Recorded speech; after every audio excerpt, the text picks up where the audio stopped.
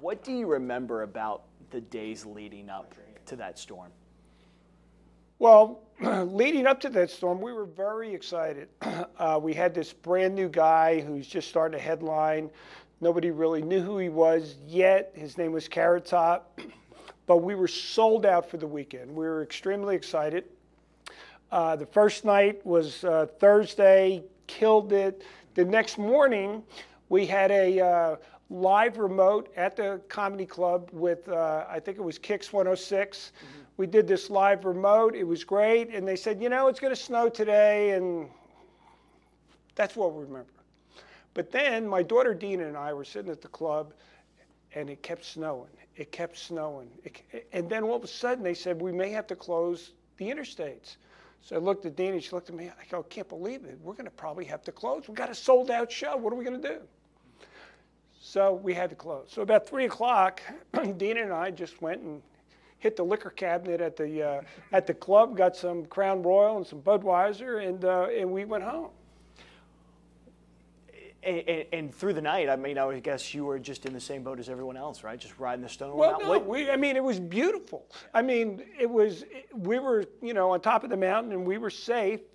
But you know, it was lightning, it was thunder. I mean, it was snowing like crazy. It was drifting. It was like three feet in my backyard.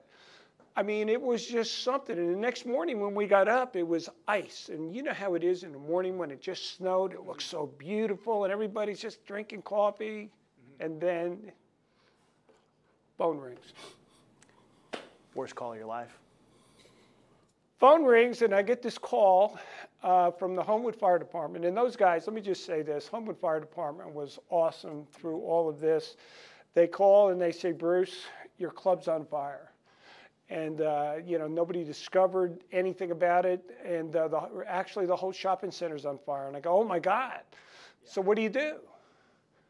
So I just said, well, I'm going to drive down there. So I tried to drive down there. My street had uh, big trees that had fallen. So I said, I got to go. So I just got dressed up as warm as I could and started walking. And I'm walking, lived on Shades Crest Road, and the, and the, it was up to my waist. How, how far a walk is that? Well, it's about a 15 minute car ride to where it was. So back then, here's the other part of the story. Back then, I had a I, right when you first first cell phone, it was about a, the size of a shoe. I mean, it was like this big, yeah. and uh, so I had the phone with me, and people were calling the house talking to Cheech, and Cheech would give them my number. So one of the TV stations would call, "How is it?" I remember Scott Richards. He goes, "Man, it's bad." Mm-hmm. And then uh, Rob and Shannon from Magic '96. Mm-hmm they were on the air and they were telling people to go out of their house and try to help me. So I'm walking down the street and all of a sudden uh, my buddy of mine, Bobby and Kay Beecham, they come running out of the house, come on in, they gave me some coffee. And then as I'm walking down the thing, people would come out trying to help me. But somebody was coming to pick me up at Burt's on the Bluff. It took me four hours to walk about a mile and a half. And then I finally got to the club probably about three o'clock, and it was bad. I mean, it was flat. There was twisted iron, and uh, the one person who was there that I'll never forget was Brenda. The fire department came to the comedy club. The comedy club was on fire. I was sent there to cover it. So they were spraying water, and in order to get over to Bruce Ayers, you know, I was walking through knee-deep water just to try to talk to him.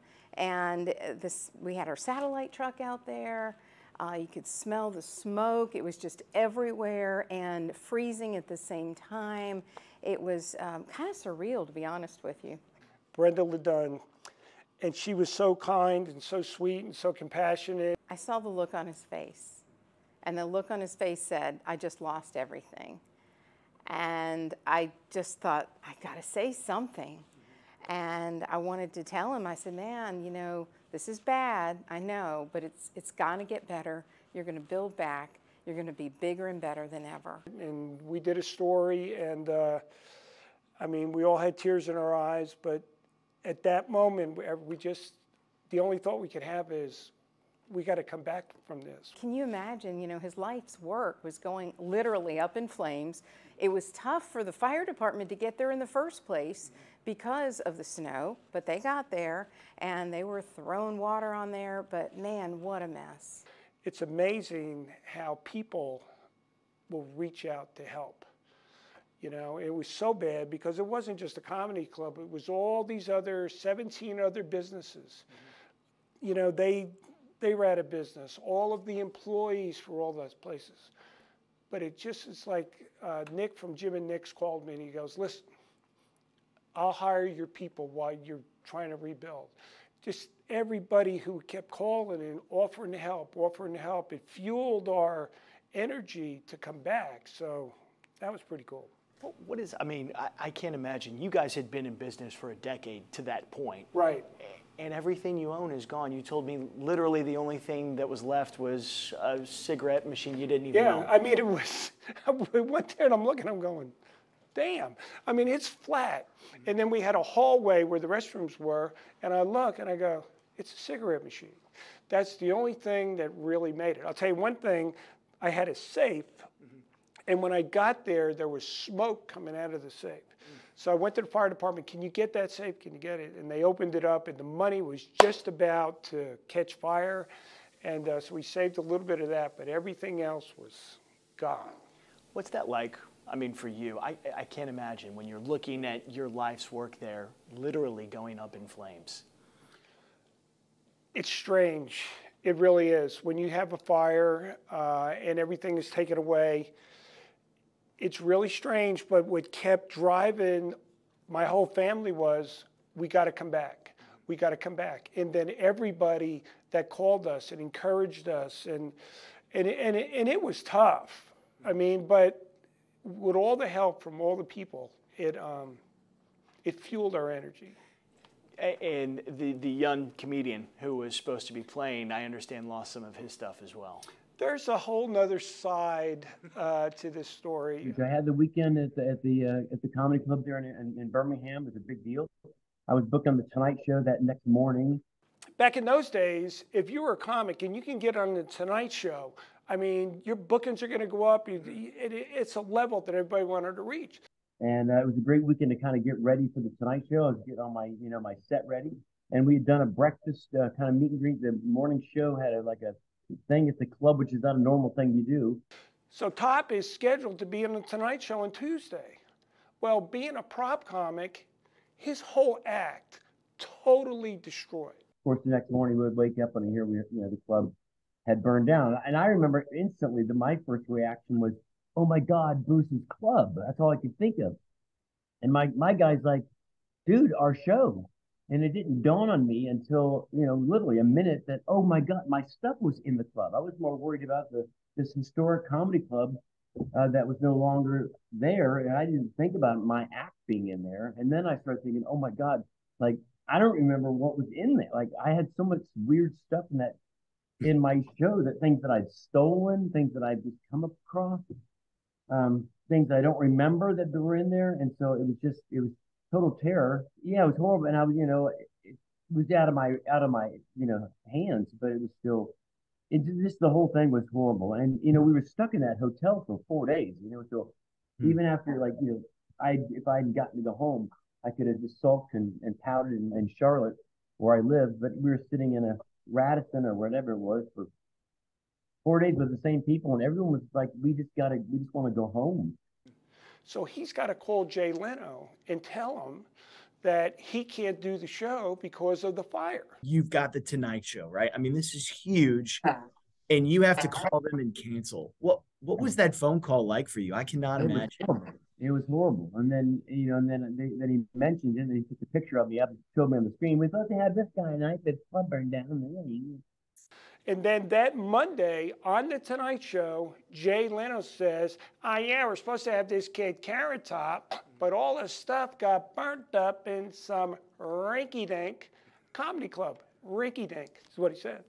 So all these people that knew me and who came to the club called Jay goes, "Man, that was a great club. He's a good guy. His family owns a business." The next day, when we come home, you know, everybody had uh, answering machines. Right. On my answering machine was this message. Uh, hey, Bruce, this is Jay Leno. Listen, man, I am so sorry about what I said. I understand you got a great club. Listen, if you ever reopen, I'll do some local commercials and help you promote it. You give me a call. What did and that mean to you? exactly what he did. When we did reopen, it was Jay on the set of Tonight Show, and here's what he said. He goes, Hey, everybody, I want to let you know that the comedy club in Birmingham's reopening. Bruce and his family, uh, you know, it's, it's going to reopen. And listen, go see him. He promises, I tell you, he promises he's not going to burn this one down. So go see him. and boom, there you go. And uh, so Jay, and then Jay invited us to go to his show, and we got to meet him, and greatest guy in the world. Did you make it back to the Tonight Show eventually? And, and what was that We like? went When you, back, we said our gun made it back, and I came out with burning down the house, and I had, I had uh, uh like smoke detectors in the lids of the trunk. so I made, Um, I made, I made good use of it. What did that mean to you? You talked about how important and how emphatic you were that you were going to rebuild. What did it mean to not even a day later have the host of the Tonight Show saying, "Hey, I- I'll do a I'll do a spot for it you"? when just you open"? fueled everything that we were doing. I mean, there were so many customers who called, please, if, if, if you reopen, we'll come and paint for you. We'll do the floor for you. It was, uh, it meant so much to my family. It really did. What does that say? And, and w- did you see that playing out in a larger aspect after the storm here in Birmingham? What does that say about this community? You know, you got people who are helping you literally just get to the to this, the place that, I while mean- it's going on. There's good people here. Lots of good people. And it's not just what happened to us, but for Nick, from the, from the guy from Jim and Nick's to call us, all these people. When I got down there, a friend named Bob Carlton, who was a writer for the Birmingham News, he heard that I was walking. Guess what he brought me? You'll never believe it. It was something, he brought me some dry socks. And I'm telling you to this day, because I was soaking wet, I had everything. Bob was there, and we're, I'm about tears. And he goes, Here, put these on. And it's just small stuff where people, so then after I go through all this, I have no way to get home. So I'm getting in, I get a hotel room, and so my wife Cheech calls our neighbor Jeff Watson, and somehow he had this whole pickup truck that he got down there, and I don't know how he did it, and got me and took me home. And uh, you know, it's just little things, big things. People wanted to help. Do you ever think you would be here where you are now at this location doing what you're doing all these years later if you hadn't gone through that? No, I mean, I, I mean, if, if we hadn't gone through that, we would have still been there. I mean, we loved that place. We loved that location. We had just signed a 10-year lease. It was going to be called the Comedy Club Plaza, but you know, maybe God had other plans. And uh, the one thing, no, nobody got hurt with this fire. Nobody got hurt, so that was that was good. You still have some mementos of, uh, You of- know- of this. Obviously, this is something that I guess, do you still think about that uh, occasionally? every, about that day? Every every once in a while, but you know, for a long time, we would just drive by, you know, and, and we had this really cool black and white floor, so I went and grabbed that. This was another piece of, I don't know exactly what it was, but I just grabbed a few things and. Uh, and then, of course, and I guess you'll show that later, was all of Carrot Top's T-shirts and all his merch uh, were there. So um, Was he in Birmingham uh, when, when this happened? Had yeah, he, he had already staying at gotten the here? hotel. L- Hey, I wanted to show you this. This picture right here. This picture was taken the morning of the of the sub when we were having the remote. Lori Grimes from Kicks 106 took this picture, and uh, she wrote this thing. It was a cold day in hell, but we'll be back and better. So that's what it looked like. But it was stuff like that. We'll be back. I can see that gets to you.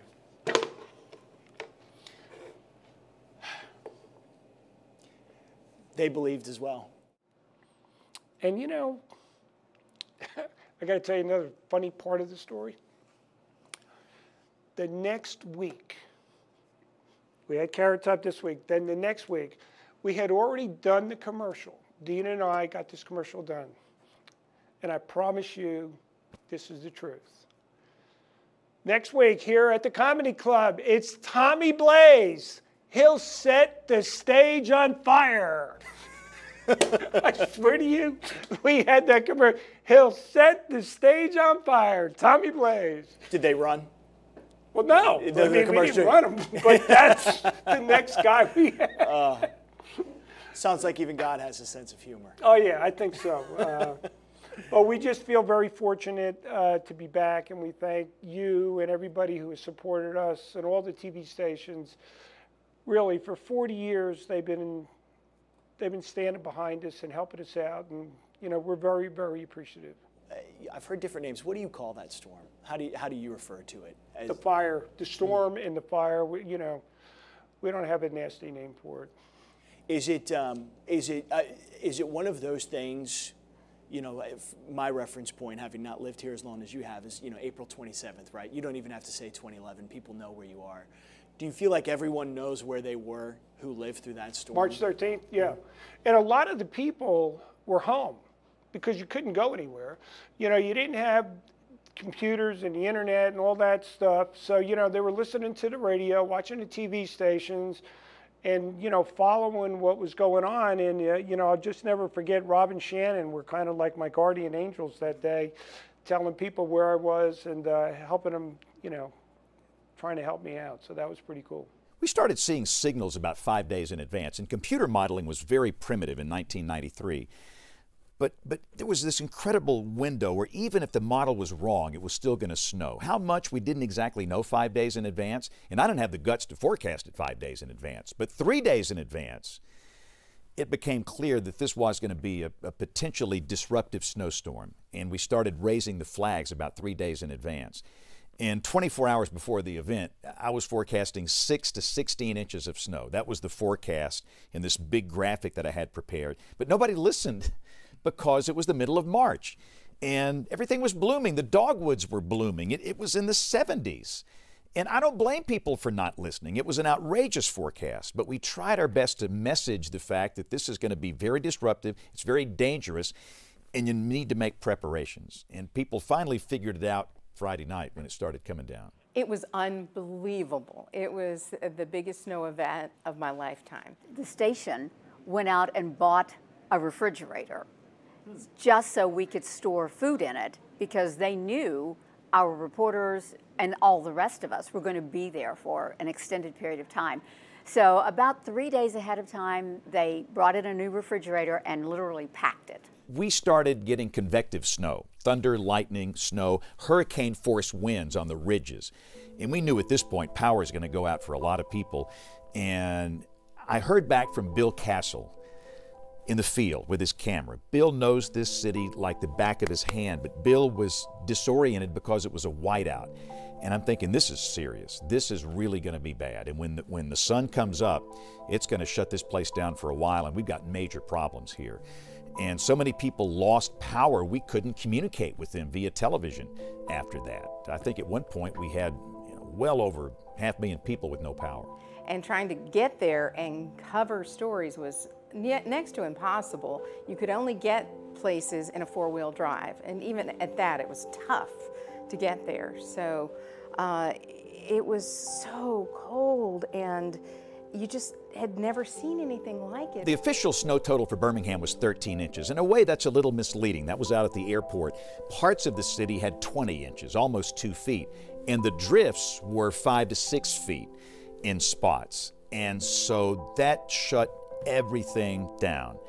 Travel was impossible. You had people that needed to get to an emergency room. You had ladies that needed to deliver a baby. You had a lot of urgent situations where they couldn't get to a hospital. They couldn't get medical care. The National Guard had to be called in. You had people helping people in amazing ways to get folks help in a situation like that. Some elderly people, they had no food, they had no power, they, they could freeze. We dropped to two degrees, two above zero, the Sunday morning after the snow ended with a clear sky and the snow cover and light wind. And that kind of cold in itself is dangerous. It rarely ever gets that cold here. So between the blizzard conditions and the cold, it was a devastating weekend. While the storm was coming in, absolutely, you could hear it, you could see it because, you know, everything was blowing in front of you and we had huge plate glass windows and of course could see all of that. once it fell and that stopped, it got very, very quiet. We really worried about people that couldn't get out. You know, the shut ins, people who had medical conditions, needed oxygen.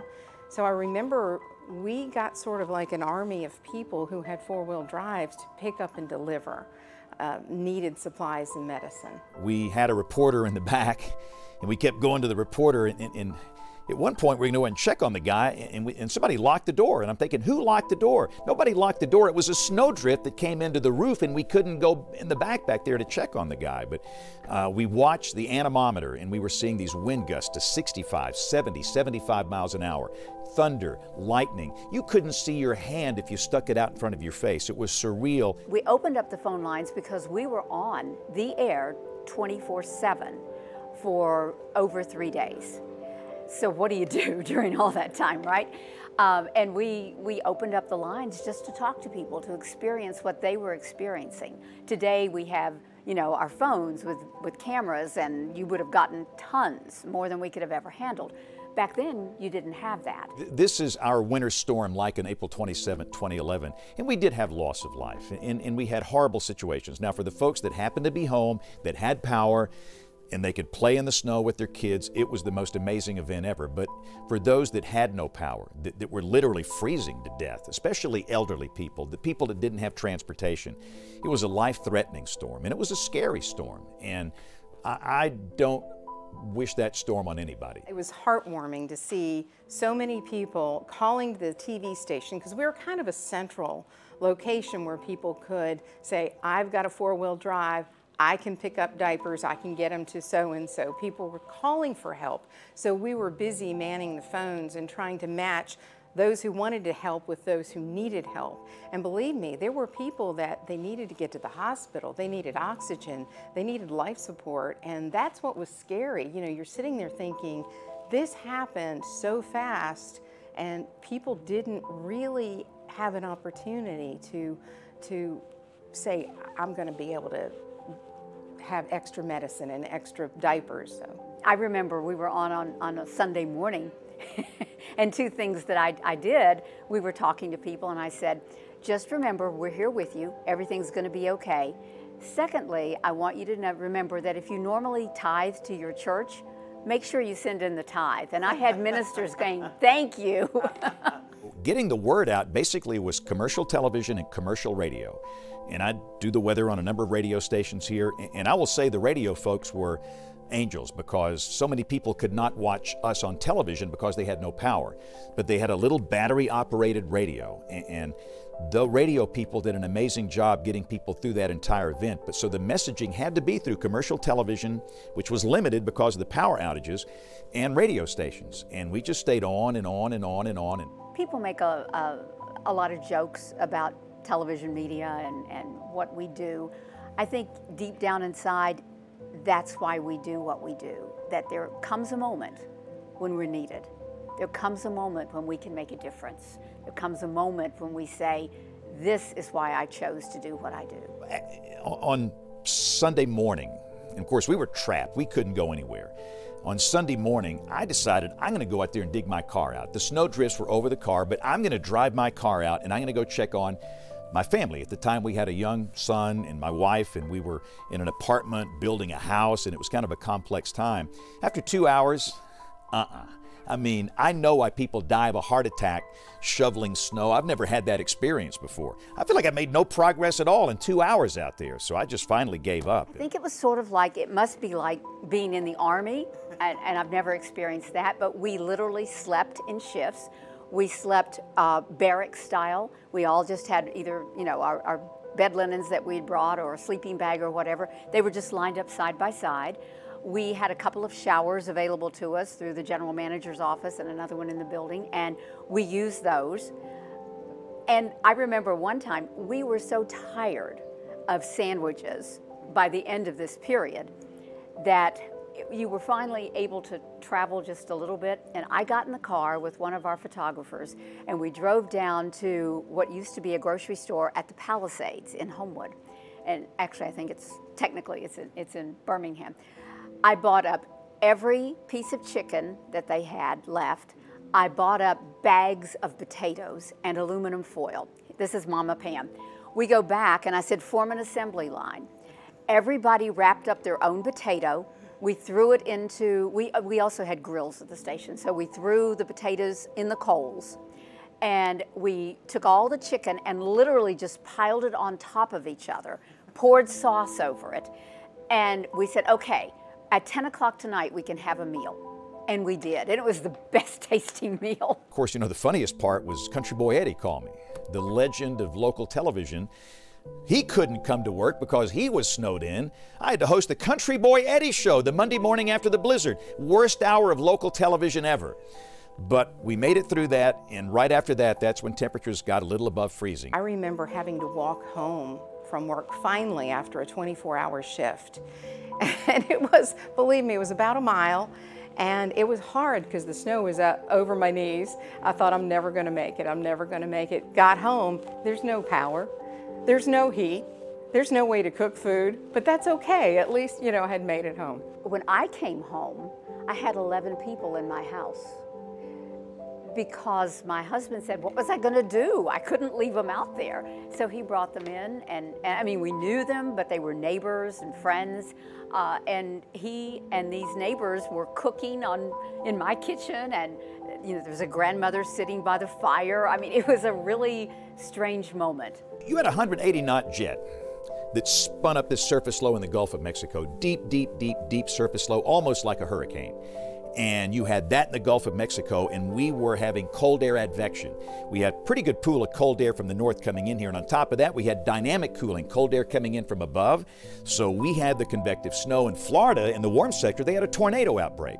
So the whole thing was just devastating, and it went right up the eastern seaboard. For the entire eastern part of the country, they will never forget the superstorm of the century, the blizzard of 93. And this is truly generational. Uh, I, generational, by my definitions, it's once every 40 years. It might be another 100 100 years before we see a storm like that. It'll happen one day, but it's not going to be on my watch. I'll be at Elmwood Cemetery when it happens.